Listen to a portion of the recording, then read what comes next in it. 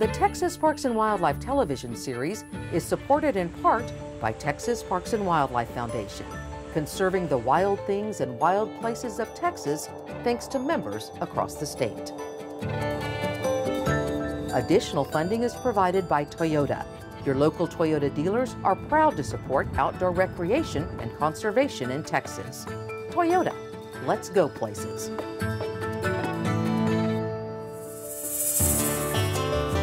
Coming up on Texas Parks and Wildlife. I think that the app is a great way to engage with nature. It's also a way to engage with other people. Are you Jada? Hi, Jada, Sam. Possum Kingdom offers great fishing, plenty of camping, kayaking here around the park. If it weighs a certain amount, we'll put a, a radio transmitter on the back. That will help us observe them as well.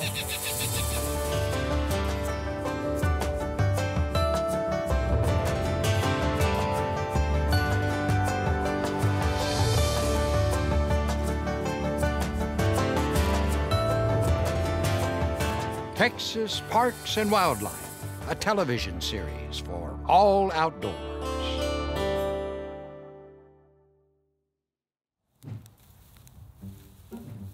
My name is Sam Kieschnick. Um, as a little kiddo, they called me Sam the Bug Man. Look at that. Isn't that a beautiful spider? Just beautiful.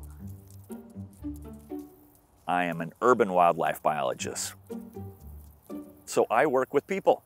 I work with the people that interact with nature. We've got a bunch of them, a bunch of different species here. This one's a really interesting one. Look at this. Yeah, this is one that you got to get a picture of. How's your camera skills with your cell phone? Sweet, sweet. Sweet, but that's all right. This is an interesting one. Whoa, that's actually a really cool catch. Look at that, the black saddlebags. Gonna be perfect in your collection. I am bonkers about this tool. I'm bonkers about iNaturalist. For me, I get so much personal enjoyment out of it. I've been using it every time I go outside. I have over 100,000 observations. I've been using this tool for a little while. I've identified about 600,000 observations for other folks around the world. So I just have so much fun using this tool daily. It's a database, it's a social network. It's kind of a way of life. I'll see an organism, I'll pop out my phone, I'll get out my camera, I'll take a picture of that organism, whatever it might be. And then I'll click on the What Did I See? View Suggestions. And this part is just mind blowing to me. It compares it to millions of other pictures. And it gives me a suggestion of the common name prairie tea or Croton monanthogynus. I'm going to select it, I'll save it, and now I'll upload it. And this is what happens. Look at science. Science is happening right now. And the beauty of this tool is when I post it, it allows other people to see that picture, see that data point, and they can help me with the identification. That's one of my favorite things. I will be at home, you know, sitting in bed in my onesie, looking at the different uh, pictures of bugs from Abilene to Albuquerque, from New Mexico to New Zealand. All over the world, I will be looking at the various engagements that people are having with nature. And I think that this one is a dusky grasshopper in Coptolophus costalis. I don't really know how to say that word, but it's kind of fun to try. You want to go look for bugs? There are so many different things all around us. And once we learn their names, it changes the relationship.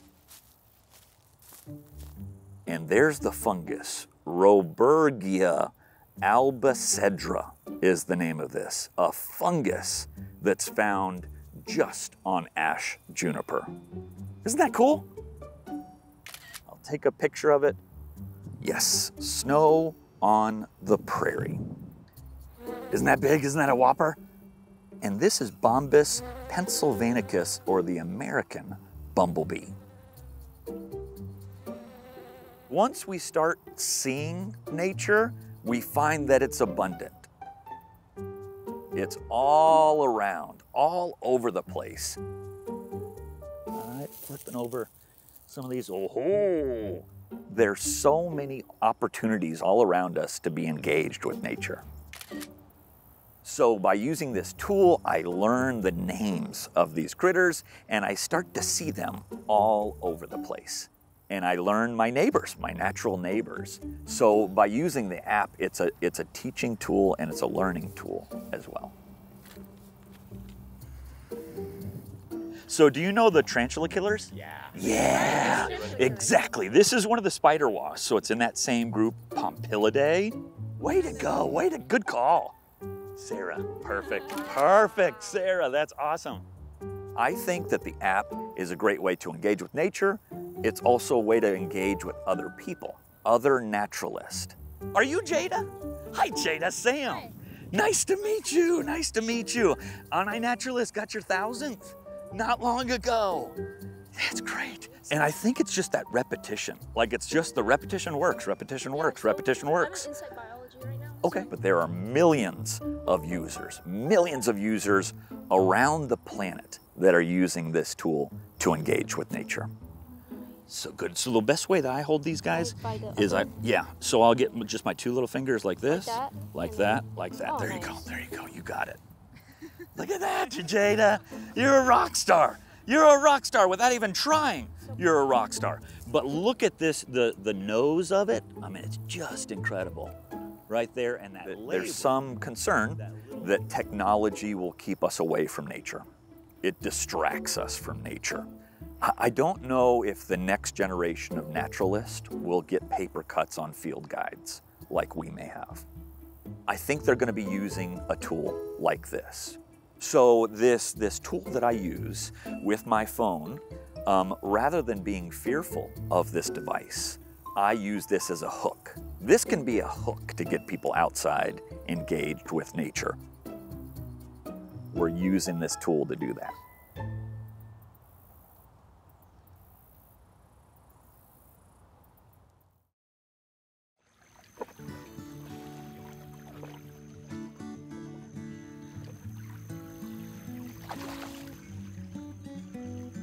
Possum Kingdom State Park is about an hour and a half west of Fort Worth, snuggled in between Graham, Breckenridge, and Graford.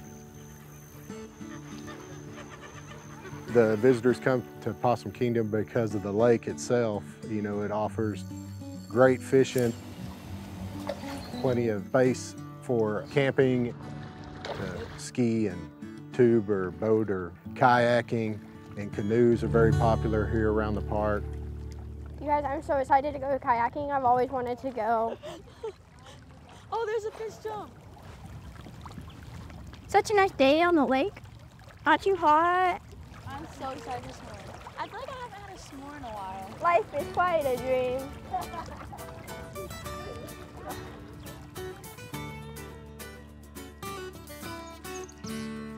Well, when you have cliffs that are over 92 feet tall, Hell's Gate is pretty unique for an area that's so close to the Metroplex. If you do want to fish Hell's Gate around it, come early in the morning at dawn. Wow, they're jumping out here in the middle. Or in the evening where the striped bass are running. And it's a very good opportunity to catch striped bass, the sand bass, largemouth bass follow behind it. So we have all the major basses and catfish.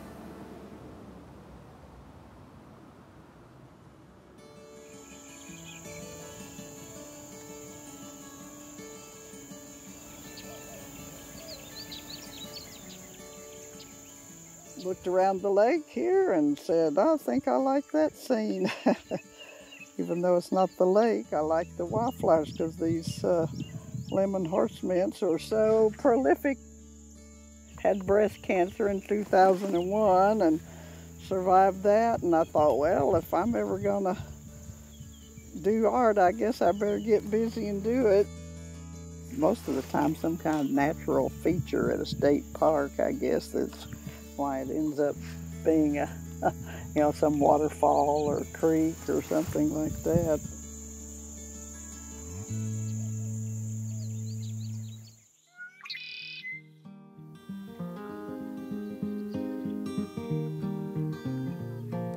It's peaceful. It's a nice time to like sit down and just think for a little bit. Some country fried catfish is a good reward.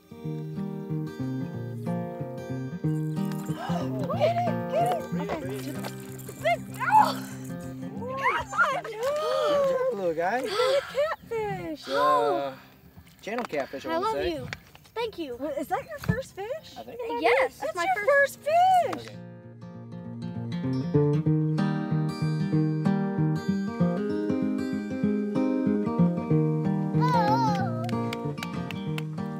So whether you're just a little kid splashing around in the water, fishing for any age, just lounging, it's a great place to cool off.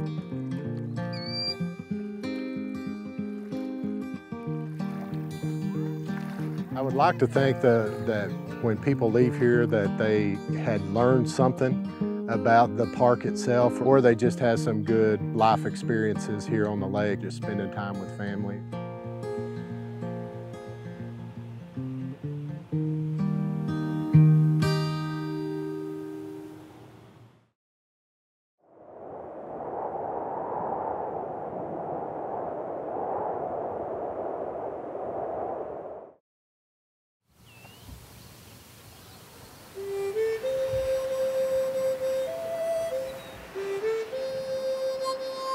You know, I never, I never wear them anymore.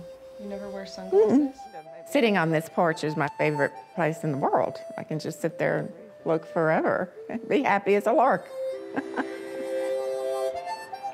there aren't very many parts of the world that are like this. Yes.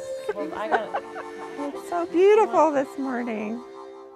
My grandfather was the one that came to Texas from Vermont, and he was 18 years old, and he saw this land and just thought it was wonderful. And then, of course, he built the Gage Hotel in Marathon. He built that in order to have a place to stay. He never wanted to leave. They was, Yeah. She was just so great. I know. Well, that was one place where we used to picnic. Uh, brief history is kind of a tough one because it's been, you know, since 1883. So, great grandfather Gage came from Vermont and had a lot of cattle at one time, three quarters of a million acres. Yeah, look, he loved that hat. It's kind of been our job to keep it together. But no, I'm, I'm excited about this year. It's been, I don't know, four years since we had enough moisture during the fall and winter to allow us to have some of these green plants start emerging again. As far as our conservation projects right now, we are doing major brush control, mainly focusing on cedar and black brush. because there's a lot of brush out there in places and we just want we want our land to be as productive as it can be we'd rather nurture the grasses and the good plants and do whatever we can to keep the land open and productive and beautiful When my great grandfather came here, it was all grass. There was no brush. We've revamped over 200 miles of the water lines. It's probably as good a water system as there is on any of these ranches in West Texas. It's, it's really, it's nothing short of remarkable what they've done out here. The first time I went out to the Catto-Gage was in 1988. And my impression of the ranch was it was so expansive and so incredibly unique. And that impression has stuck with me. I get on ranches every week, every month of the year, and that place is still the most special ranch that I've ever been on. Imagine finding these in west texas smells like horses. like what horses Like horses. that doesn't that doesn't sound very fragrant If you look at the species richness, the species diversity of what you have here, it would really be nothing short of a Rembrandt or Picasso times 10. That's, that's how special and how unique this place is. It's an ecological wonderland. You know, there's only so much dirt that is on this earth, and we were lucky enough to be stewards of this. I mean, I feel privileged, really. Um, I get kind of emotional sometimes, but no, I mean, I'm privileged to be a, be a steward. Roxie's love for the land is pretty incredible. She's she's an all-around rancher, uh, private property advocate. She's all in and always has been. She's really taught us how to enjoy and respect this land. What's so great is everybody in the family really cares about keeping this up and keeping the heritage going and keeping this ranch together because it's not easy. I know. Just see forever and ever. I'm very grateful and blessed that I'm part of this heritage. It makes you want to make sure it's here for generations to come. We're determined we're going to keep this land in the family. They celebrated their, their 140th anniversary of the ranch recently. The continued legacy of conservation, the commitment to the land, commitment to the communities, and commitment to the natural resources is really a tribute to, I think, the, the forefather of, of Alfred S. Gage. A.S. Gage would be very proud. And just proud that it's remained in the family and that it hasn't been broken up. And as long as we have these private land stewards like Roxie and her family and others like that, I think that tomorrow's generation will have a fighting chance to be able to enjoy those things. I know our children are just love it, so they'll do everything they can to keep it going.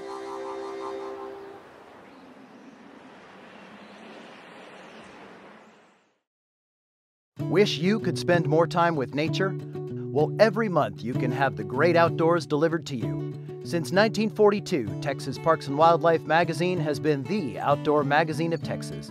Every issue is packed with outstanding photography and writing about the wild things and wild places of this great state. And now, Texas's best outdoor magazine is available as an app. It's just that easy. Texas Parks and Wildlife magazine. Your connection to the great outdoors. Three, two, one, go. And then just let that hand go. Yep, you're okay. You're okay. I'm okay. And there he goes. He gave you a little goodbye kiss.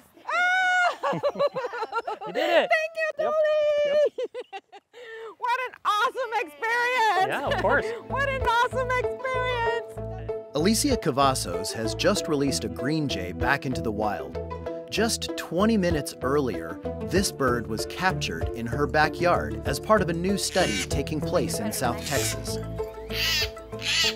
Well, that's good. Means he's feisty. Means he's alert. That's what we want to see. We're looking at uh, the home range of green jays in urban areas to determine if they're kind of staying in certain backyards or if they're moving around. We just don't know a lot about what they're doing in urban areas. The green jay occurs from South America north to Texas. In North and Central America, the bird's range extends from Honduras north through Mexico and into the brushlands of South Texas. Look, look, look, look, look. There's like eight of them.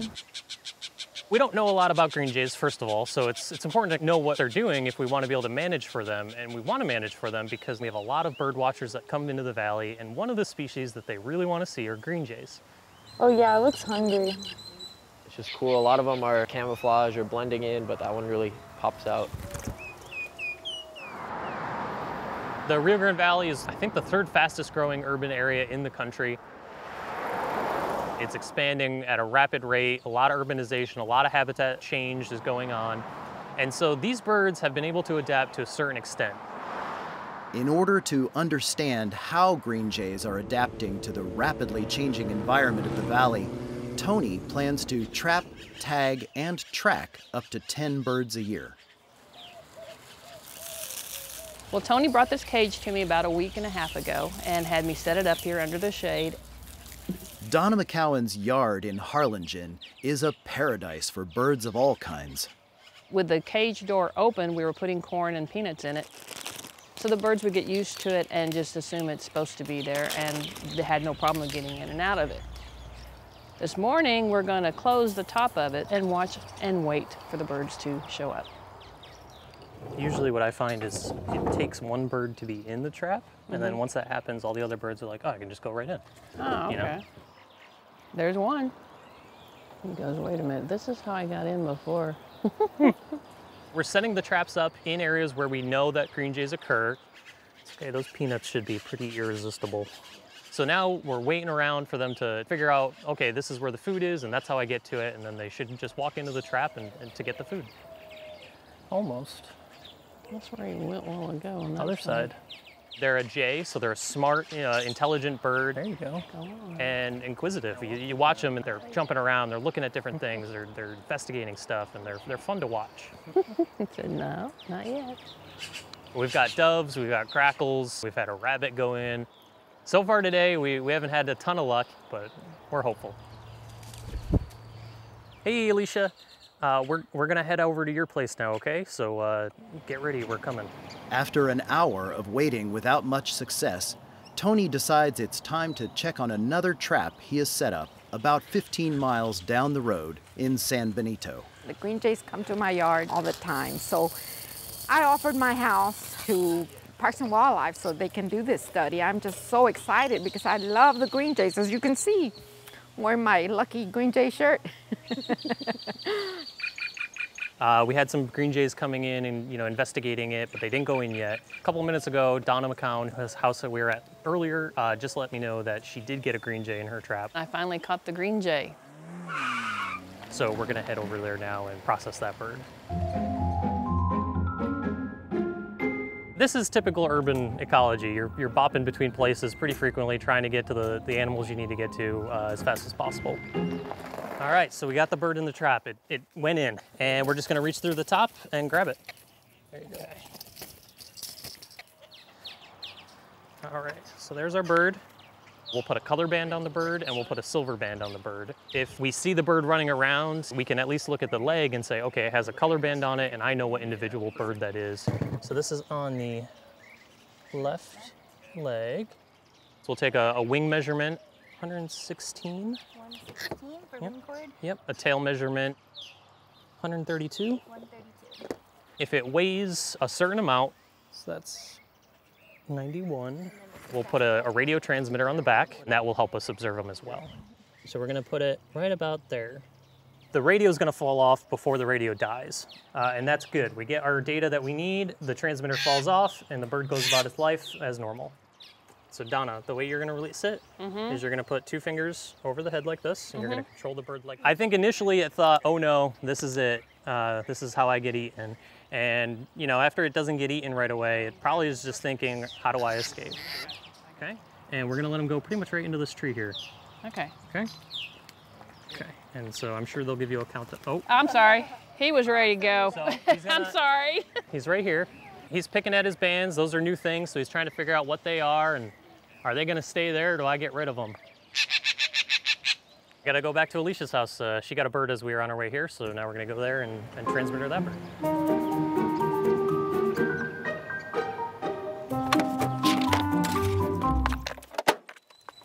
Um, they're adaptable. That's one of the reasons why we find them in urban areas, but we don't really know what they're doing to be able to adapt. Is it their diet? Are they able to adapt to different kinds of plants that they normally wouldn't use? The hope of this project, the goal is to come up with some habitat recommendations that we can go to landowners and say, listen, green jays are in the area. We all like green jays. They're colorful birds, they're cool birds. All you need to do is X, Y, and Z, and you'll get green jays in your yard. And that is the ultimate goal to increase habitat for green jays, because in doing so, we'll also help every other bird species we have in the valley out. And that's, that's always a good thing.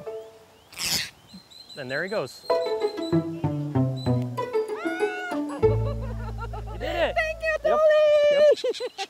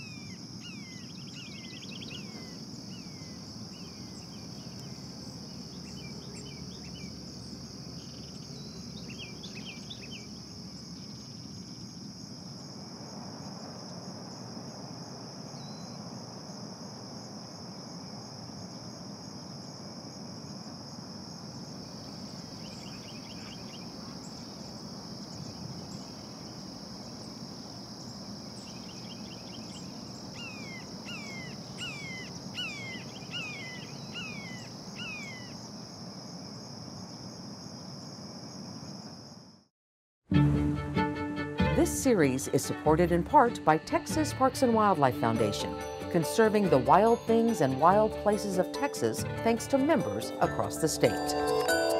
Additional funding is provided by Toyota. Your local Toyota dealers are proud to support outdoor recreation and conservation in Texas. Toyota, let's go places.